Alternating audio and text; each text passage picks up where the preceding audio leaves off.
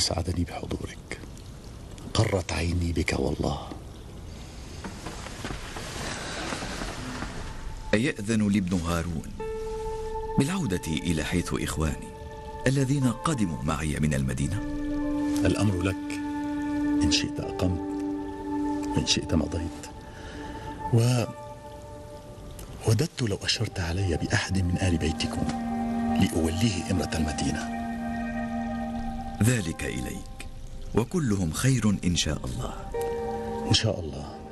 قد علمت أن عبد الله بن الحسن بن عبد الله بن العباس بن أمير المؤمنين عليه السلام رجل صدق وقد وليته إمرة المدينة ورجوته ألا يرفض لك طلبا.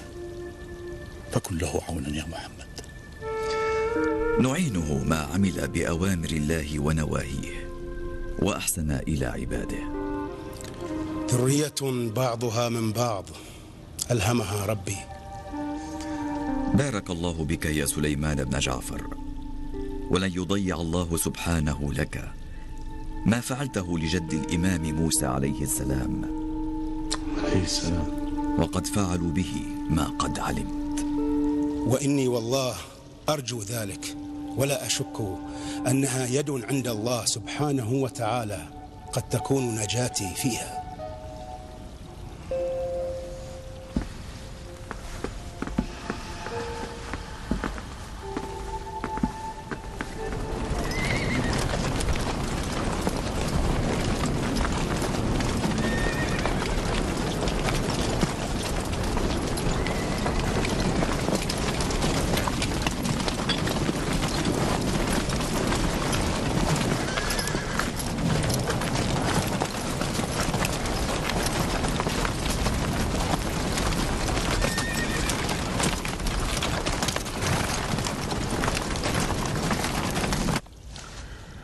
يا عماه ما حكاية موسى بن محمد؟ كان ذلك منذ أكثر من عشرين عاما. وكان والدك قد أمره بأن يقدم عليه من المدينة المنورة فسلمه لوالي البصرة. فما وجد منه ما يريب بل عكف على عبادته والتهجد لربه. فأبلغ الرشيد رحمه الله بأنه سيحرره ولا يحتملن دمه. فأتى به إلى بغداد ووكل به الفضل بن الربيع. فلم يجد منه الفضل إلا كل خير حتى أنه لم يدع على من ظلمه قط. ثم سلمه إلى السندي بن شاهك. وذات يوم في الجانب الشرقي من بغداد يا أهل بغداد شهدوا أن الإمام موسى بن جعفر مات حتف أنفه والرافضة تزعم أنه لا يموت. ويحهم يفعلون بابن عمنا هكذا يعرضون جثمانه على الناس في أسواق بغداد؟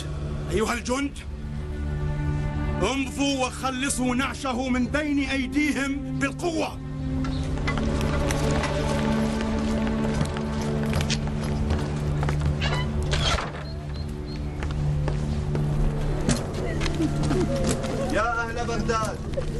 إن أمير المؤمنين يطلب من فقهاء بغداد أن يكتبوا كتابا يشهدوا به أنه مات حتف أنفه.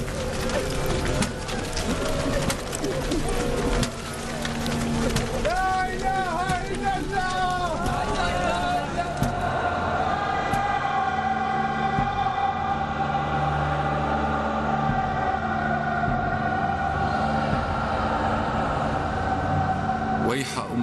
تفعل بحفيد نبيها ما فعلت. وإماما.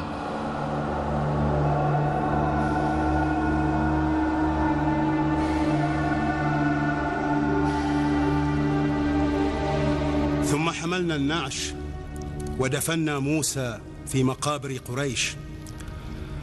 وكنت قد وضعته أمام الناس وأمرت المنادي أن ينادي. ألا من أراد النظر إلى الطيب بن الطيب موسى بن جعفر فليخرج. فخرج الناس يتدافعون ويبكون. ثم كتبت بذلك إلى أمير المؤمنين الرشيد وكان في الرقة. فماذا قال أبي؟ أشهد أنه كتب لي وما يزال كتابه عندي. وصلت رحمك يا عم وأحسن الله جزاءك. والله ما فعل السندي بن شاهك لعنه الله ما فعله عن أمرنا.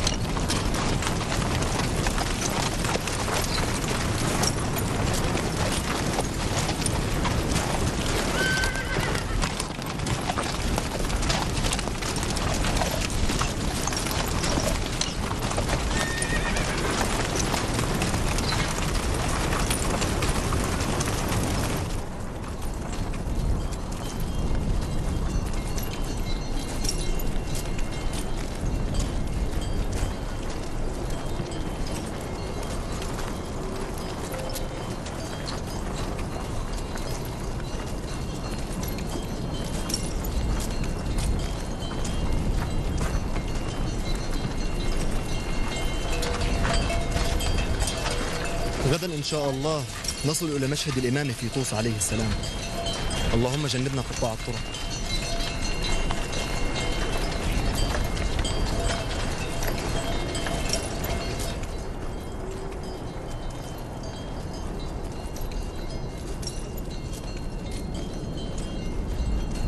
تقولون كيف سنعيش بعدما كففت عن مهاجمة القوافل؟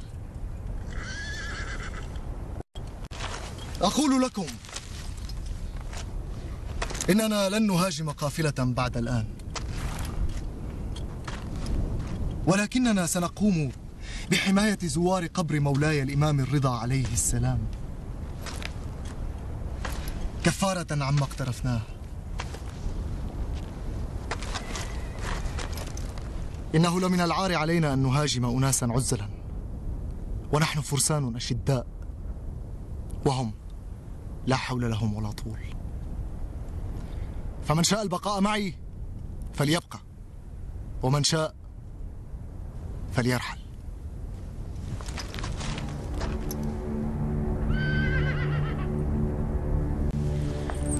أم جعفر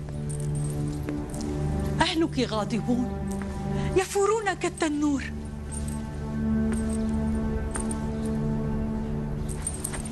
وما أنا إلا من غزية. إن غوت غويت وإن ترشد غزية أرشدي.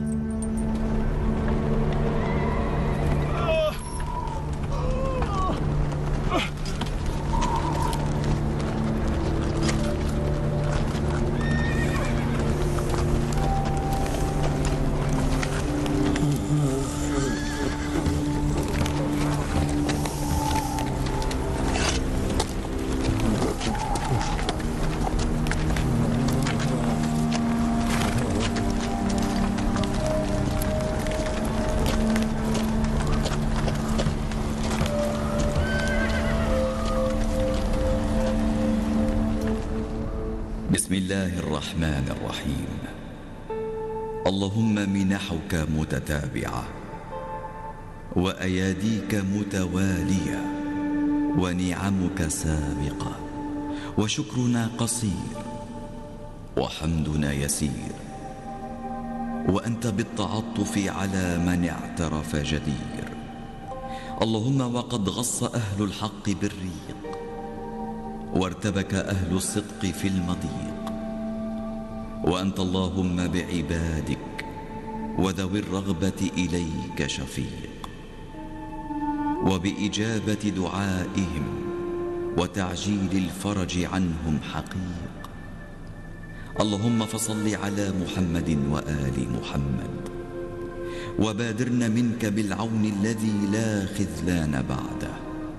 والنصر الذي لا باطل يتكأده.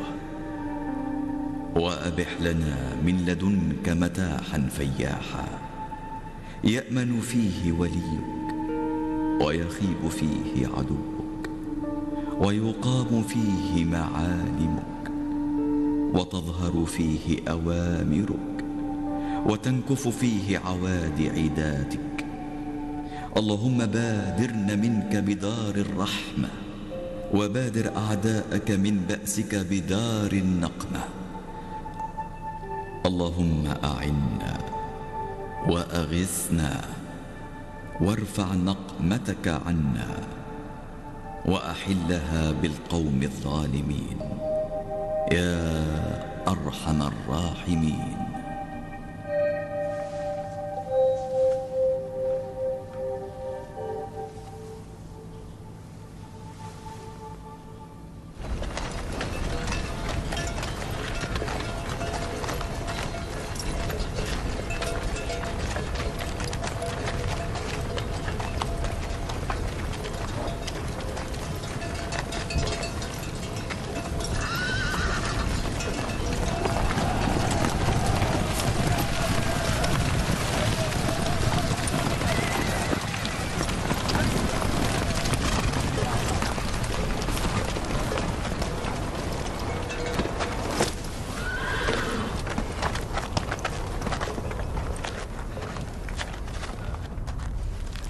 لا تخافوا يرحمكم الله. كأنكم تمضون إلى زيارة حضرة مولاي الإمام الرضا عليه السلام. بلى زيارته وشفاعته عليه السلام مقصدنا. إنما أنتم في طريق موحش وناحية يكثر فيها اللصوص وقطاع الطرق. نحن في حمى الإمام عليه السلام. ونحن في حماه. فامضوا يرحمكم الله. نحن وأنتم في خفارته الشريفة. ولا تخشوا وحشة ولا قاطع طريق. إلى حضرة مولاي الإمام. عليه وعلى آله السلام. يا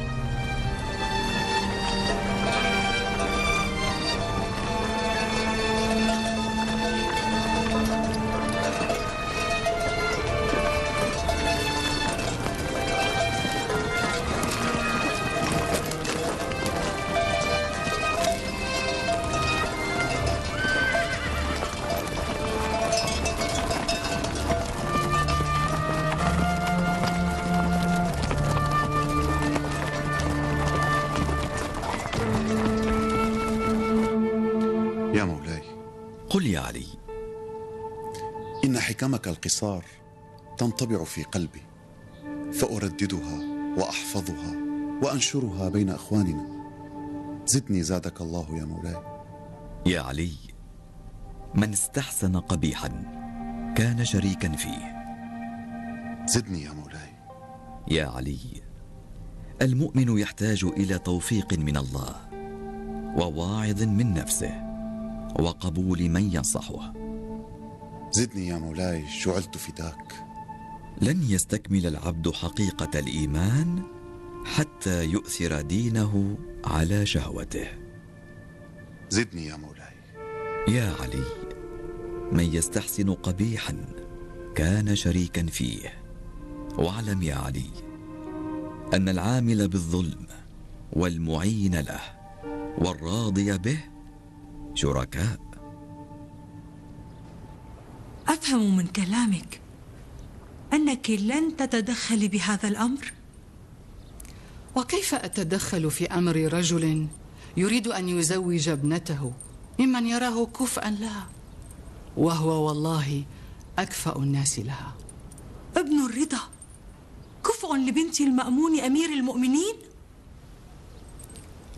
يا سبحان الله. وفيما الاستنكار يا أم جعفر؟ بالأمس كان ابن مراجل وما فيه مغز إبرة إلا بنطفة من واحد. والآن ترفضون بهذا الإباء أن يكون صهره حفيد أمير المؤمنين علي بن أبي طالب عليه السلام. كنت أسمع أنك تميلين إليهم وما كنت أصدق حتى سمعتك بأذني. يا بنت سليمان رويدك. والله لو جمع كل شرف الأرض لذكر أو أنثى لن يعدل شيئا أمام شرف ينتسب إلى علي بن أبي طالب وفاطمة ابنة رسول الله صلى الله عليه وآله وسلم. فمهلا. يا مولاي.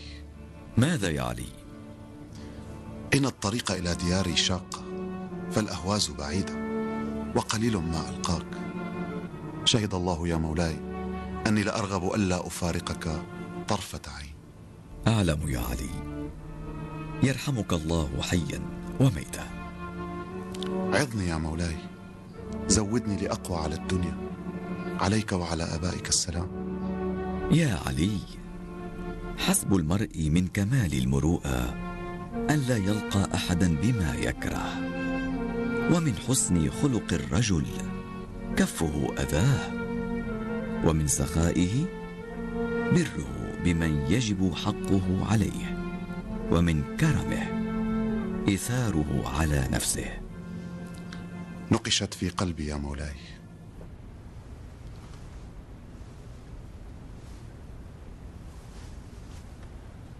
أتقبلون بما سمعتم؟ هات يا عيسى. هات ما لديك. قد علمتم مثلي أن المأمون أمير المؤمنين المأمون. المأمون أمير المؤمنين. لا بأس إنما قلتها على السجية. قد علمتم أن أمير المؤمنين عازم على تزويج ابنته من هذا ابن الرضا. وهل نستطيع ردع أمير المؤمنين عن أمر يخصه في أهل بيته يا عيسى؟ وهل نتركه حتى يملأ آل العباس بأحفاد ابن الرضا فيكون ما لا تحبون؟ قل شيئا يا صالح ما أتيت إلى هنا لأقول بل لأستمع وأنقل ما تريدون يا صالح إن أخاك بتزويجه ابن الرضا يؤسس لضياع ملكنا. وهذا أمر لا بد أن يؤخذ رأينا به. لا بأس. إنكم تعرفون أخي أمير المؤمنين لا يكسر بالمغاضبة بل يؤخذ بالملاينة. إنه يقول إن ديدنه العقل والحكمة فمن حدثه به ما قبل منه. إنه لا يقبل انتقاصا لملكه. نحن لا نريد انتقاص ملكه يا أبا عيسى. بل نريد الحفاظ على ملك آبائنا وأجدادنا. امض إليه فكلمه بها. لعله يقبل منك. ابعثوا إليه عمتنا زينب ابنة سليمان. ونعم الرأي والله.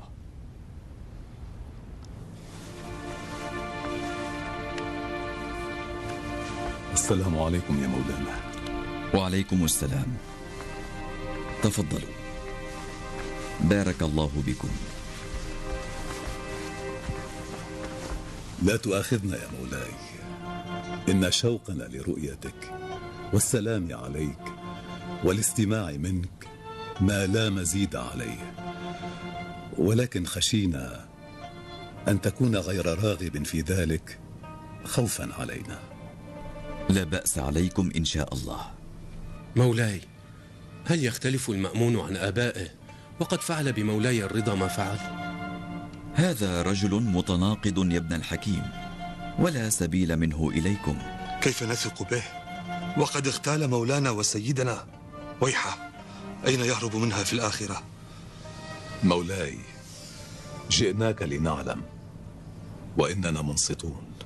أما قول المأمون بأنه يحب أمير المؤمنين عليا عليه السلام فهو صادق فيه. صادق في حبه أمير المؤمنين عليه السلام؟ الحب شيء والولاء شيء آخر. فالولاء لأمير المؤمنين هو العمل بشروط الولاية. إنكم تعرفون شروطها. بلى. التسليم والرضا والطاعة والقبول. والاعتراف بالحق لأهله والعمل بمقتضاه وهذا ما لا يفعله المأمون ولن يفعله. فحسبنا منه محبته والأخرى حسابه عليها عند ربه. والله يا مولاي إني لأخشى أن يغدر بك كما غدر بمولاي الرضا. لا لن يفعل يا ابن الحجاج. مولاي. قل يا خيران. ياسر خادم المأمون يستأذن للدخول. قل له أن يدخل. أمر مولاي.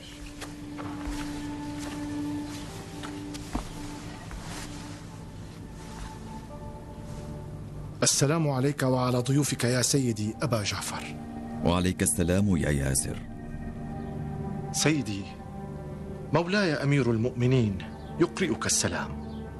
ويقول إنه لا يصبر عنك. ويرجوك أن تلبي له رغبته بزيارته. وكان قد عزم المسير إليك ولكنه خشي ألا تكون متفرغا للقائه. إن كنت ترغب بلقاء أمير المؤمنين فهو ينتظرك بلهفة لا مزيد عليها. وقال لي قل لأبي جعفر إنه يجد وحشة وهو يحتاج لدعائك والأنس بك لا بأس. انتظرنا يا ياسر. سمعا وطاعة.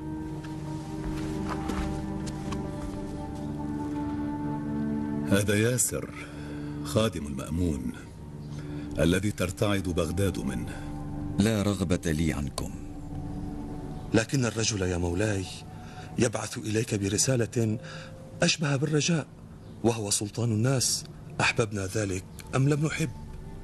لا خوف علي من المأمون. أهو علم تعلمه يا مولاي؟ بلى. الخوف علي بعد موته. أطال الله عمرك يا مولاي. إن كان ذلك فنحن نأتيك. وفي أي وقت تشاء. بل تتهيئون للمضي معي إلى الكوفة. لزيارة مثاوي شهداء كربلاء وروضة جد أمير المؤمنين عليه السلام. اللهم صل وسلم عليهم. واحشرنا معهم. وثبتنا على ولايتهم. يا أرحم الراحمين. وها أنت يا المأمون؟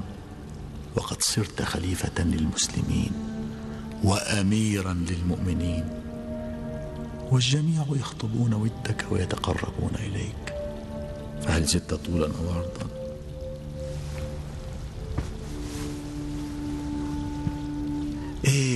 ما عاد أحد يقول لك يا ابن مراجل. بل يا أمير المؤمنين. كلهم يتزلفون إليك. فأنت جالنس الطب وأرسطو الكلام وفقيه الدنيا. والصغيرة عندك التي يعرفها كل الناس تصير فريدة عصرها وزمانها. وإن قلت بيتا من الشعر تناوله الفنانون والعازفون. وأعمل علماء اللغة فيه ألسنتهم مدحا وتقريضا. فهل زدت شيئا؟ مولاي سيدي محمد بن علي. مرحبا بك وأهلا يا خير من عليها. السلام عليك يا ابن الرشيد. بل عليك السلام ولله درك. ما أسعدني بقدومك. تفضل. تفضل يرعاك الله. تفضل.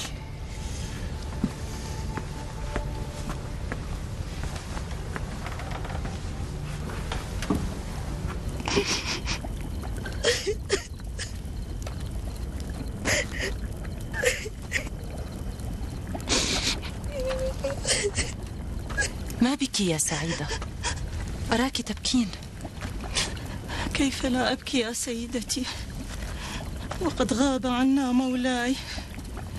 إني والله لأجد وحشة لغيابه ما وجدتها قط. الله يحفظه ويرعاه يا سعيدة يا سيدتي إني والله لأخشى كلما مضى أحد منكم إلى بني العباس. لما يا سعيدة؟ ما اتصل حبلهم بحبلكم إلا وقعت مصيبة. لكأنهم موكلون ببلائكم. فاعذريني. ما قلت إلا حقا فلا تعتذري. لقد ملأوا صدورنا غصصا ولم يرعوا لنا رحما ولا قرابة. علمت الآن لما أنا خائفة يا سيدتي. بلى يا سعيدة علمت قبل أن تقولي لكن مولاي أبا جعفر طمأنني قبل رحيله أنه عائد إلينا ولن يكون إلا ما تحب فطمأنني كلامه وهو لا يقول إلا صدقا ولو كان عليه خطر منهم لما قال ذلك. بشرك الله يا سيدتي. هل لي بطلب؟ قولي يا سعيدة. أرغب بحمل جمل من الرطب أوزعه على المحتاجين في المدينة يا سيدتي. فهل؟ وهل علمت يا سعيدة أحدا من أهل هذا البيت يمنع صدقة أو يرد محتاجا؟ لا لكنني رغبت بأن تكوني على بينة.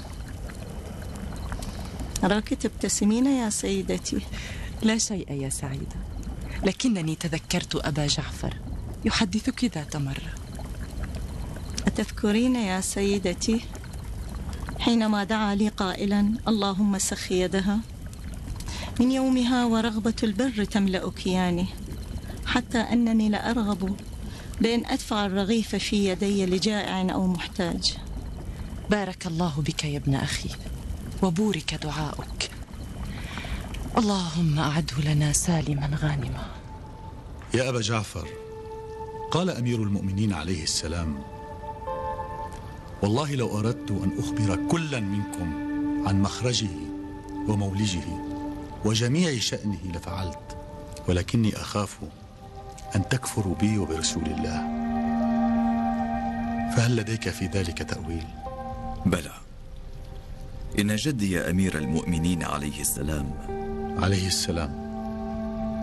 لو شاء لأخبر كل واحد منهم من أين خرج ومن أين دخل وكيفية خروجه وولوجه وأخبر بجميع شأنه. وشغله من أفعاله وأقواله ومطعمه ومشربه وما ادخره في بيته وغير ذلك. وما أضمروه في قلوبهم وأسروه في ضمائرهم كما قال المسيح عليه السلام أنبئكم بما تأكلون وتدخرون في بيوتكم أما قوله أخاف أن تكفروا بي وبرسول الله صلى الله عليه وآله. أي إني أخاف عليكم الغلو في أمري. وأن تقدموني على رسول الله.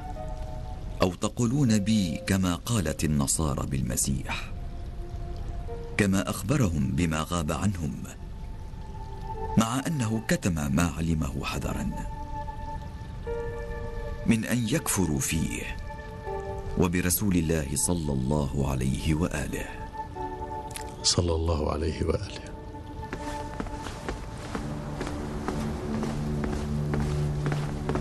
عفوك أيها الأمير.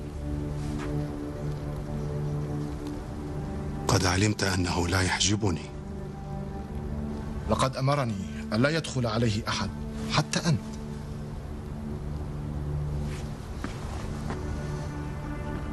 حتى لو كنت أنا؟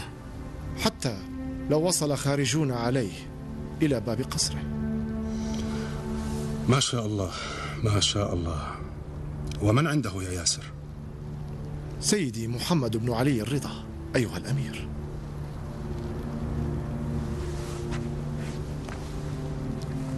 إن لأخي أمير المؤمنين شأنا لا أفهمه.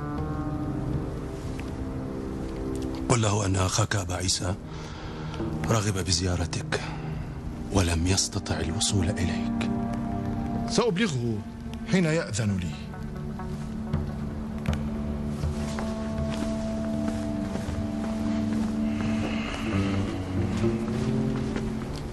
وقد وصل إلينا حديث جدي عبد الله بن عباس رضي الله عنهما حول آية النجم. فهل لديك حديثها؟ بلى. كان بنو هاشم يصلون عند النبي في العشاء الآخرة. فلما سلم أقبل بوجهه ثم قال سينقض كوكب من السماء مع طلوع الفجر. فيسقط في دار أحدكم. فمن سقط ذلك الكوكب في داره. فهو وصي وخليفتي فيكم. والإمام بعدي. فلما كان قرب الفجر جلس كل واحد منهم ينتظر سقوط الكوكب في داره. وكان أطمع القوم في ذلك جدك العباس بن عبد المطلب. فلما طلع الفجر انقض الكوكب من السماء وسقط في دار جدي علي بن أبي طالب عليه السلام. فقال له رسول الله صلى الله عليه وآله يا علي والذي بعثني بالنبوة لقد وجبت لك الوصية والإمامة والخلافة بعدي. فمن الذين تحدثوا بذلك ثم أنكروه يا محمد؟ المنافقون في المدينة المنورة عبد الله بن أبي وأصحابه فقالوا لقد ضل محمد في محبة ابن عمه وما ينطق من شأنه إلا بالهوى. قبحه الله من منافق. يقول عز وجل والنجم إذا هوى ما ضل صاحبكم وما غوى. يعني في محبة علي بن أبي طالب عليه السلام. وما ينطق عن الهوى يعني في شأنه. إن هو إلا وحي يوحى. إن هو إلا وحي يوحى. أو كان الأصحاب يعلمون ذلك؟ بلى كانوا يعلمون. ولما فعلوا ما فعلوا؟ الله أعلم بهم. الم تخبرني يا أبا جعفر؟ الحق بين والباطل بين. ولا قول بعد قوله عز وجل بسم الله الرحمن الرحيم. والنجم إذا هوى ما ضل صاحبكم وما غوى وما ينطق عن الهوى إن هو إلا وحي يوحى. صدق الله العلي العظيم. صدق الله العلي العظيم. السلام عليكم. وعليكم السلام. وعليكم السلام ورحمة الله. السلام عليكم يا سيد وعليكم السلام ورحمة الله. أراك تعبا يا سيدي؟ بلى أتيت من العريض وهي قرية لنا يعرفها أهل المدينة وينسبون إليها فيقولون العريضي وأبناء العريضيون. حينما تنشط للحديث عندي سؤال يشغلني وأرجو أن أجد جوابه عندك. إذا كان لدي الجواب فلن أبخل به عليك. تفضل يا ولدي. تفضل.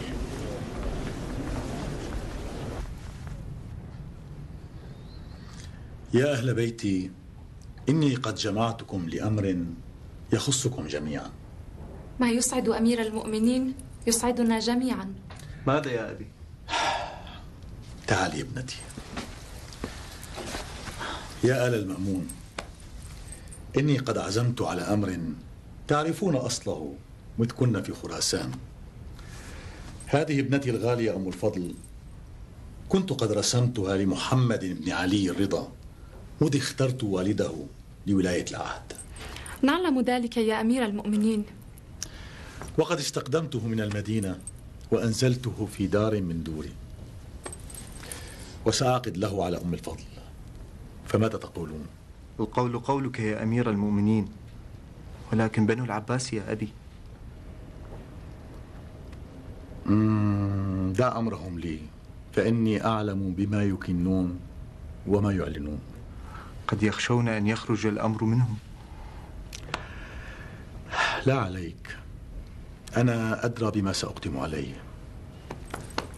عندما تكبرين يا أم الفضل سأقيم لك زفافا تتحدث به الركبان. بورك لك ما عزمت عليه يا أمير المؤمنين.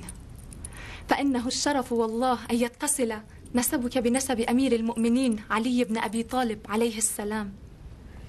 بلى.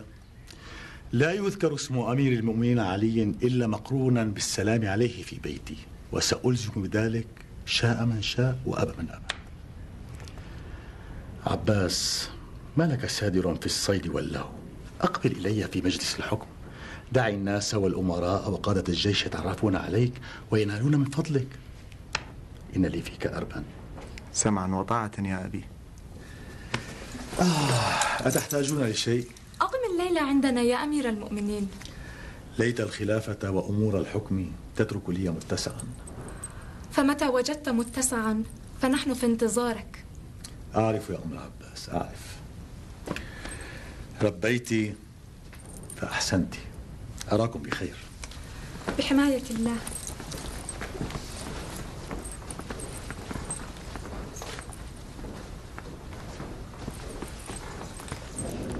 أنا مستعد يا ابن عمار.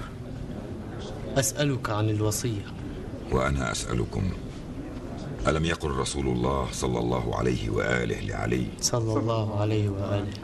ألا ترضى أن تكون مني بمنزلة هارون من موسى على أنه لا نبي بعدي؟